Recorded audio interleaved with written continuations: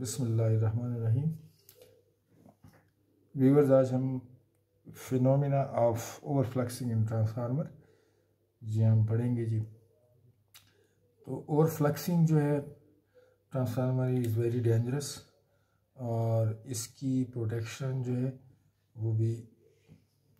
बहुत इंपॉर्टेंट होती है। तो पहले हम ज़रा इक्वेशन जो जनरल ट्रांसफार्मर में इक्वेशन यूज़ होती है इस वोल्टेज इक्वेशन जो जनरल इक्वेशन है, इस four point four four flux and then frequency and the number of turns तो voltage induce that will be equal to four point four four तो general equation है transformer का, आप familiar है इससे? तो यहाँ से V जो है ये आर एम एस वैल्यू है ऑफ़ द वोल्टेज फिर F फ्रीक्वेंसी है, N is the number of turns in the winding and जो यहाँ से हम equation in terms of flux, this is equal to V is 4.44 into Fn and if this flux this is proportional to V over F so यहाँ इस equation से if the applied voltage increases keeping frequency constant then the flux will increase. And if uh, voltage increases if V increase then keeping F constant then the maximum flux will increase.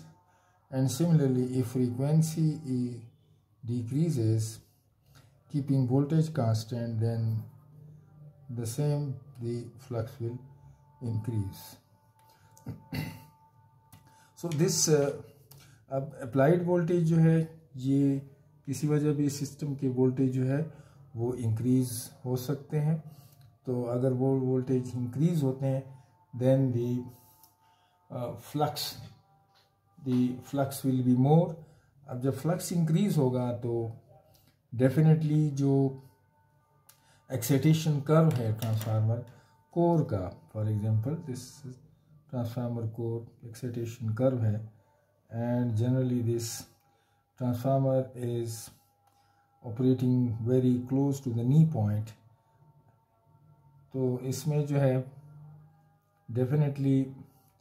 this transformer operation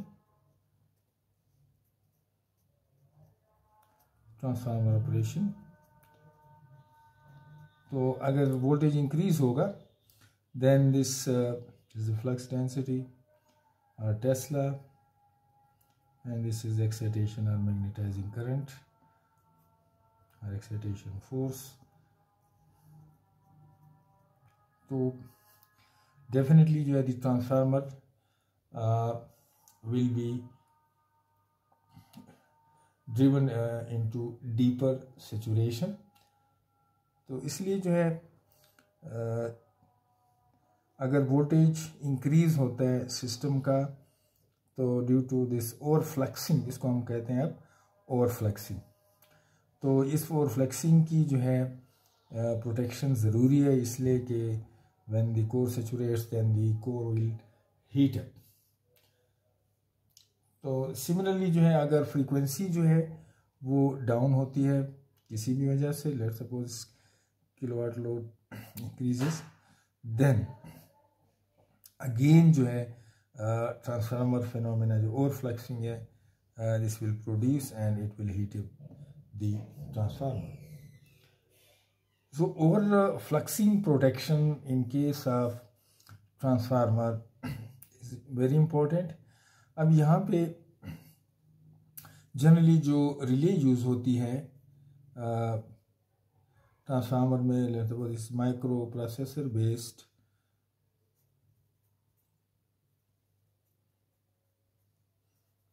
तो उस relay को कहते हैं जी volts to hertz relay तो ये एक fix ratio होता है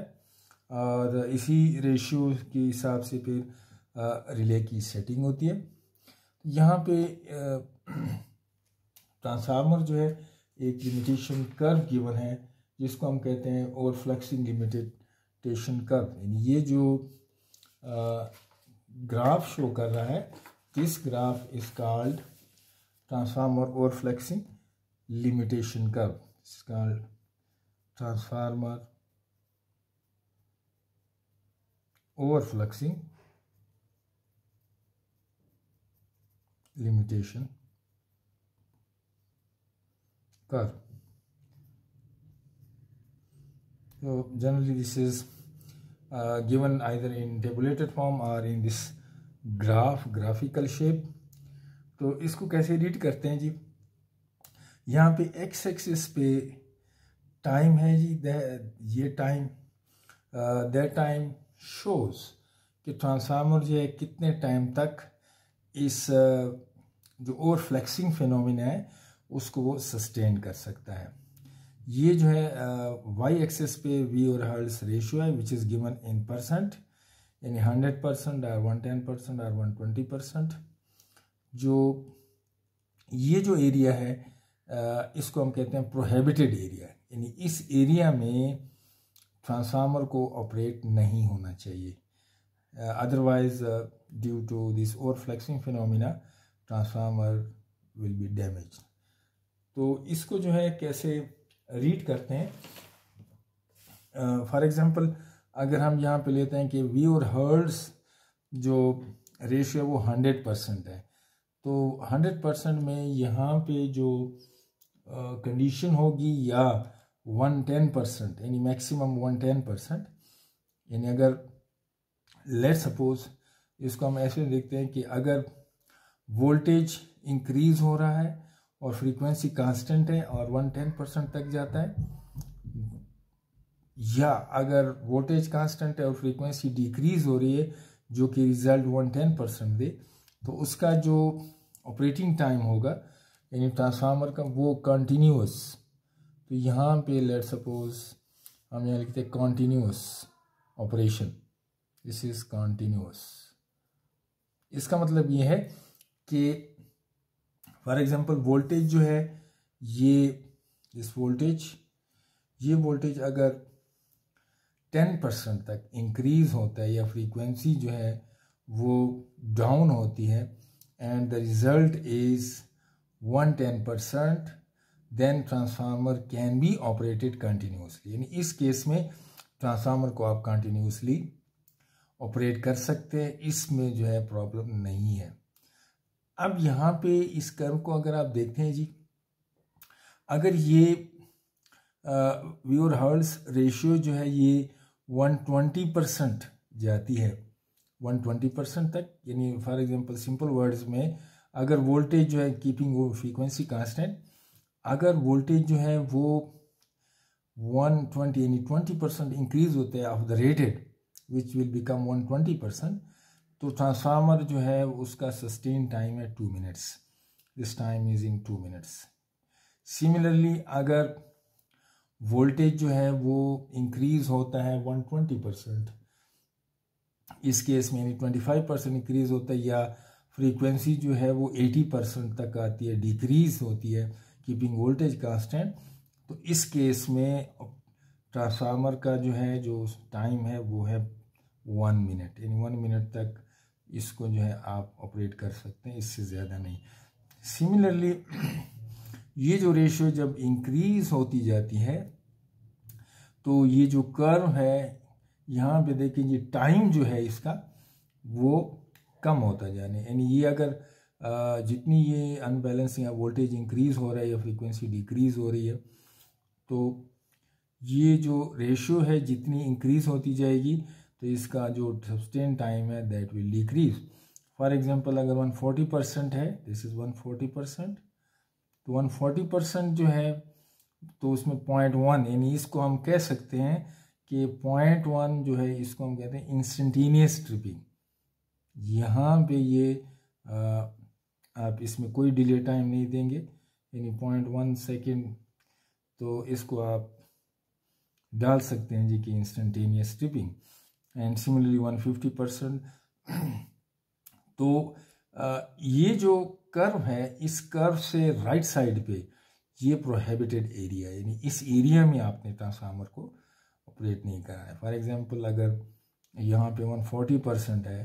तो डेफिनेटली अगर इसका टाइम आप बढ़ाएँगे तो then it will be in the danger zone this is the danger zone similarly 130 percent है, इसका टाइम आप ये ज़्यादा टाइम तक, यानी 1.5 मिनट से ज़्यादा होगा तो definitely it will be enter into the prohibited operating region तो जो और फ्लैक्सिंग है